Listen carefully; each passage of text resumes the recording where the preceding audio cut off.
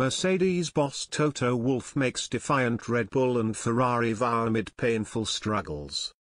Mercedes team principal Toto Wolff has warned their rivals the Silver Arrows will not rest until they are back in the mix. Wolff has admitted it is extremely painful to not be battling at the sharp end of the field.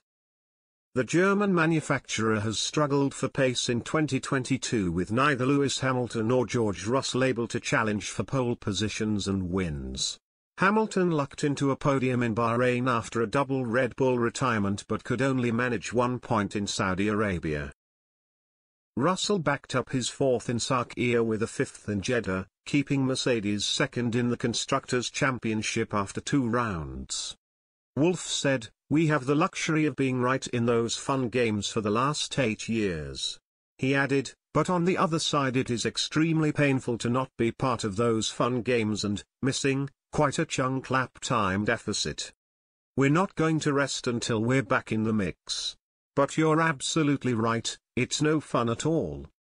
It's an exercise in humility and it's going to make us stronger at the end, even though it's not fun right now. Mercedes have dominated F1's turbo hybrid era since 2014, winning eight Constructors' Championships in a row. The team have won seven drivers' titles in this period, only missing out on one to Max Verstappen last year. Despite Mercedes' struggles, Red Bull team principal Christian Horner has refused to talk down their chances for 2022. He warned the development race is going to be fast and predicted the Silver Arrows would bounce back very quickly. He said, I think when you watch their car on circuit it obviously doesn't look easy for their drivers at the moment, but what we do know is their ability to bounce back. I mean, they've had difficult pre-seasons before and then gone and won the first race.